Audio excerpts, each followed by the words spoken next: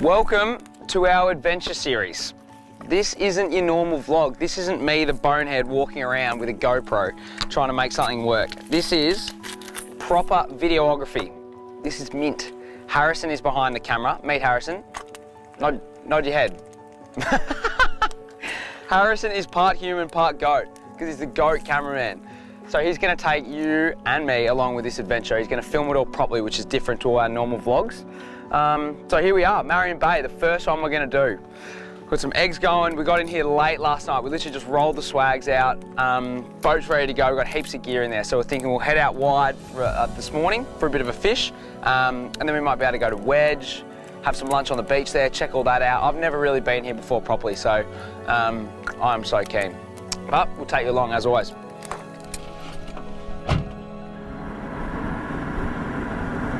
That is elite. All the boats are still in their driveways. What are we missing here? What are we missing? Every single local's boat is still in their driveway. There is something Marion Bay knows that we don't. Not too bad. How are you? Sorry, mate. Adam. Adam, nice to meet you properly, Ned. How you? Hey, boys, how are you? I'm the uh, young fella's father. Oh, are you? Skipper. Eric. Nice to meet you, Eric. Yeah, how you going? not bad. Hey, mate. Eric. Ned, how are you? Nice to meet you. Eric. This ramp's not too bad. It's concrete. But fish, fishing's been slow the last couple of days though. Has it? Very slow. Don't say that. Everyone could have told me that before we drove three and a half hours last night and fucking slept the night. Stirred up. Yeah, we're on Suzanne Charles and all day for about 10 nannies. Oh, really? Yeah. Yeah, I was thinking about heading that kind of direction, so. Oh, good luck. Yeah. you too.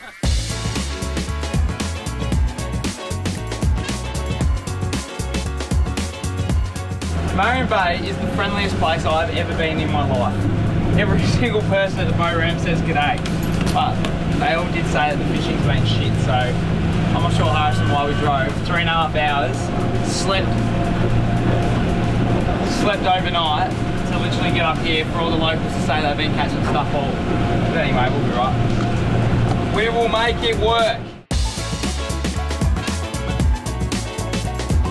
So we are keeping it very, very simple here. 6,000 Saragosa, Shimano Terez rod, 80 pound leader with a paternoster rig with big squid baits. Could you get any more boring or any more old school than that? I don't think so, but it works. Shit. I'm going well. Jesus Christ, look at the sounder. Fuck.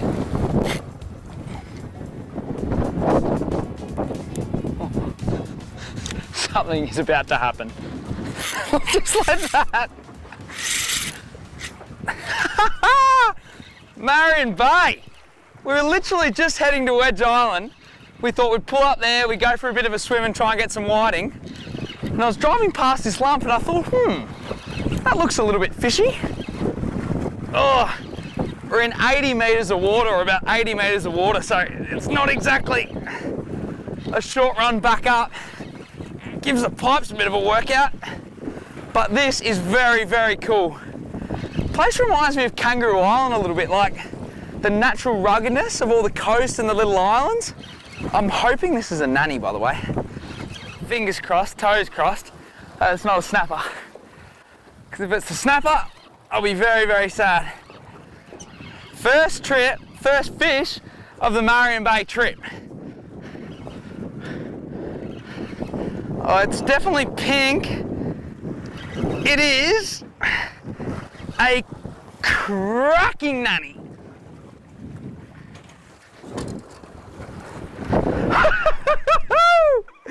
Are you serious? oh my goodness me, that is, oh, as I get hooked, that is a cracking nanny. How good is that? We were on our way to Wedge. We were going to do some whiting fishing. We're going to show you some of the coves and go for a bit of a swim. And we saw this lump. That is a cracking nanny. Woohoo! So I'm just setting the boat up for another drift across that lump that we're on. And this is a drift anchor. So for people who don't fish, they'd be thinking, what is that? Absolutely no idea. Address.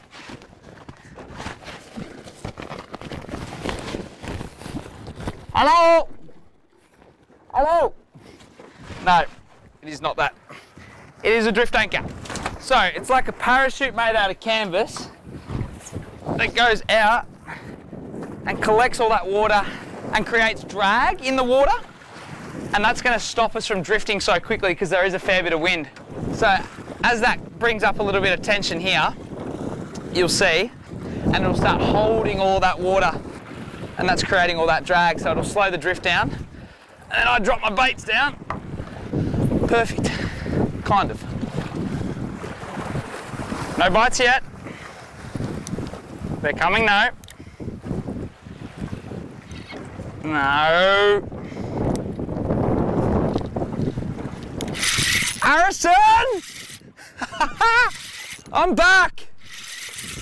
I went through a bit of a rough patch there for a second, but I'm back. Oh, look how much line I have on this reel. There's, there's four meters of line. I've been hand feeding this out. We are drifting so quickly. oh, far out. What is this? See, this is what the adventure series is all about. We literally have no idea what we're doing out here. We just heard it's an amazing place. I've always wanted to come here and fish this kind of area. And we brought the trailer boat, we spoke to a few people, and the fishing is off tap. I don't know what this is though. It is pink. It is very pink. It is a big name. Harrison, Harrison, Harrison, Harrison, Harrison. Oh my God.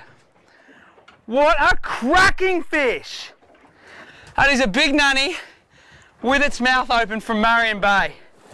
81 metres of water, but because we're drifting pretty quick, I've been letting out heaps of line. So I'm literally pretty much down to the empty spool when we hook them. But I was getting these bites. These are good head shakes. I reckon, uh, could be another nanny or I'm, I don't want to say this. I really don't, but it could be a snapper. I don't want it to be a snapper at all. It's the last thing I want. Oh no, it is a snapper. Do I have an underwater camera under there or something? I've called every single fish for what it is and I was very, very nervous that this is gonna be what it was. Ah, oh, so this is why we've got to move on and we can't keep fishing.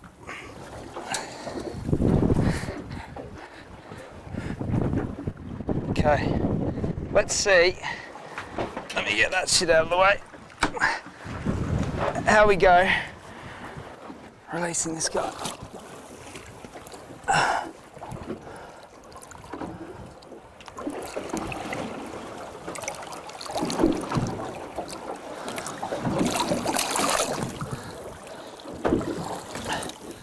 He's home. I don't know if he'll make it. That's just the reality around snapper. Like, let's not kid ourselves. Not many of them fucking do that well after we release them. But the thing is, like what we're doing right now is we got that one snapper. We're gonna move on. We're gonna get straight out of here. We're not gonna kill anymore or hurt anymore, but it's a shame. He's a beautiful fish. It'd be very cool if the season was open. We'd take him. But he'll grow into a beast. I feel a bit crook about that. I hate catching snapper now. It sucks. Very, very, very, very cool. This is really all we need. We've got two for lunch, one for me, one for Harrison. Hey, quiet. Um, and that's Wedge Island behind us, so we might start heading that way, pull into a little cove or something. Bit of a cook up, bit of a swim. Harrison? Sounds like a plan. He's nodding. All right, let's do it. You!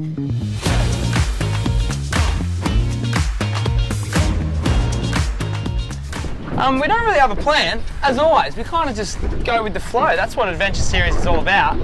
But we just pulled into this little cove here near Wedge. And as you can see, it's absolutely beautiful. But we're in five meters of water. There's weed everywhere. So I'm tipping there's going to be a few squid around. I'll throw the squid jig and I'll see if we can do a little squid catch and cook, maybe. Ooh. Squid Leon. this would be cool. We get a little squid in, maybe catch and cook. There's some whiting around too, there must be. I'm looking around these areas. Oh, it's actually not a bad little squid. Not a bad little squid at all. As if anything here was going to be small in Marion Bay. They don't do things by halves. Harrison, Squidly, caught, and a beautiful little squid. How cool is that? There are his candles. They're like the longer tentacle that he actually reaches out and grabs his prey with. Check them out. Pretty cool. And there his other tentacles there. Very, very, very nice. All right, we only need one, but we'll keep him because we'll do a bit of a catch and cook. Woo!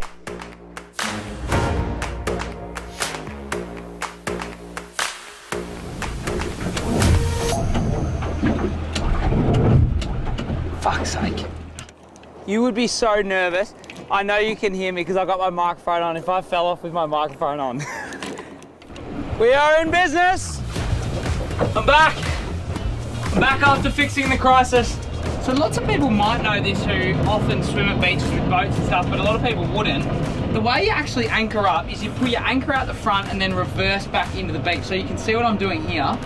Just slowly in reverse letting my anchor rope out. And that is gonna keep us safe and keep us with good access to the beach. A little tip.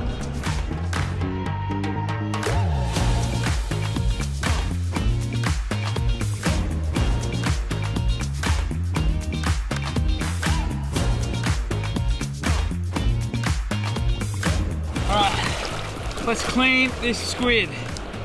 Pull him straight out. Whoa, whoa. We'll keep his head. No! We've got to do this up here. We're going to lose our lunch. All right, this is going to be the freshest squid you've ever seen. We caught this like 30 minutes ago. I'm going to keep the tentacles. I got the hood here. Uh, I'm going to show you how we kind of clean that up and get that ready to cook. All I've got in the boat is some salt and pepper and some olive oil. So I'm to get a really hot pan and just do the freshest, most beautiful squid ever. All right, so I've taken that head out from the hood and we're gonna keep these beautiful tentacles.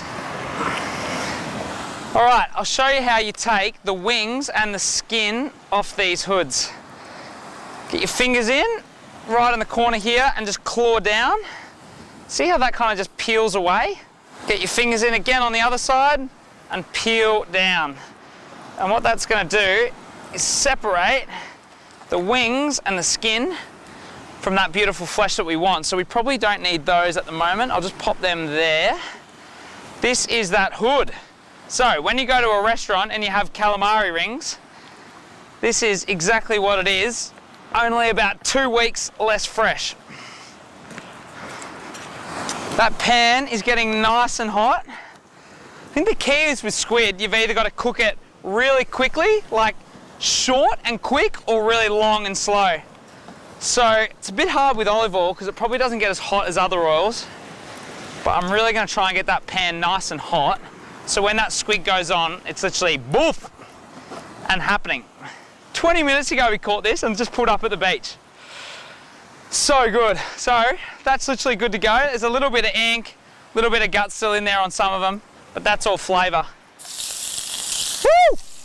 Salt and pepper.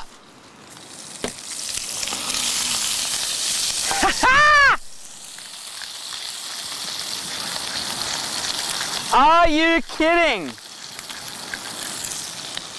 Plenty of that. A little bit of that. And that's all I'm gonna do. Sizzling away beautifully. And these tentacles are the best bit on squid. Ow! Ow! that is hot! Oh my goodness! That's like third degree burns! Is hot! I'm in the firing line. You could do like lemon, lime, chili, that kind of stuff would be really good if we were a bit more organised. But what I kind of love about this is it's just a squid that we just caught. And we're gonna let it do its thing. Three, two, one. All right.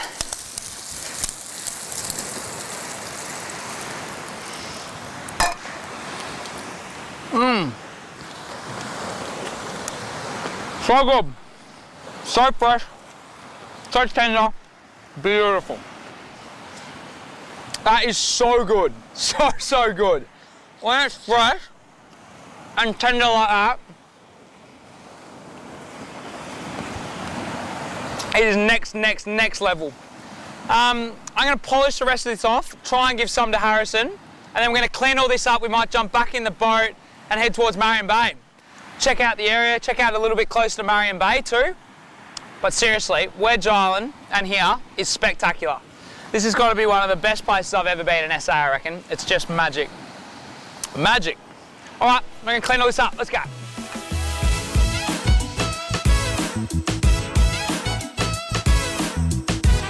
So the plan was to kind of cruise back here and do some whiting fishing, but we've literally ended up just skipping every single cove as we come back along.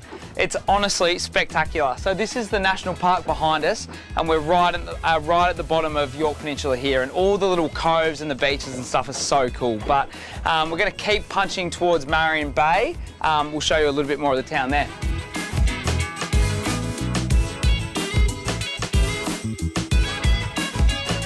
So, Marion Bay fishing today. How often do you get here and what do you love about it? Uh, I only get here about once or twice a year, but uh, yeah, it's just so scenic, um, and the fishing's usually pretty good. There's so much to see and do down here. If you've got a small boat, just stay in the bay. If you've got something a bit bigger, the islands are, are spectacular. So they're really nice. Not a far uh, trip.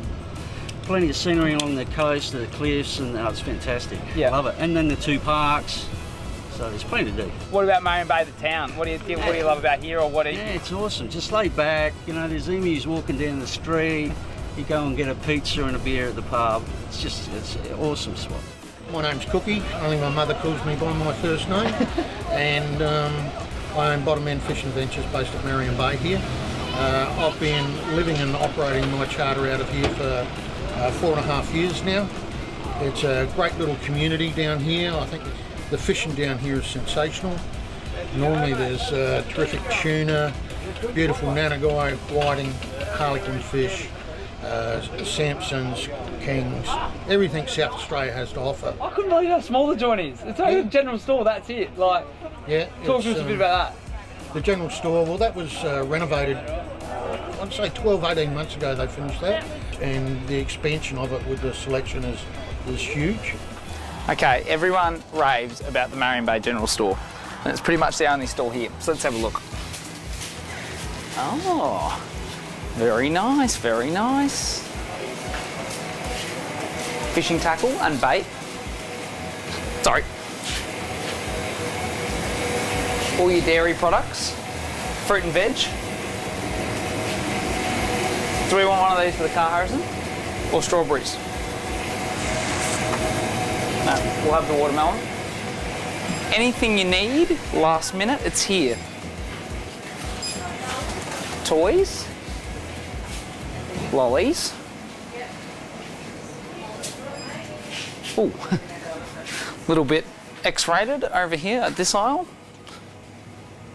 Cleaning products, spatulas, something to cut a watermelon open. Fantastic general store. Not sure what I was expecting, but just as good. Yeah, thank you for coming to Bay Wishes. Thank you for having me. Pleasure.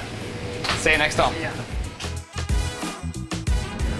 Okay, it's 5.53 now and we're starting to head back to Adelaide after one of the greatest days of all time.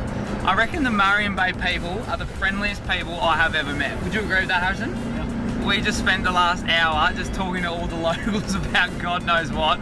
We spent like 30 minutes in the general store just talking shit. Um, I absolutely loved today. It was brilliant. The fishing was great. The scenery was amazing, like spectacular. Wedge Island was absolutely sensational. So we definitely missed stuff. Let us know what we missed because we're coming back for part two, Marion Bay, um, with the adventure series. But that probably closes out our first video for the adventure series.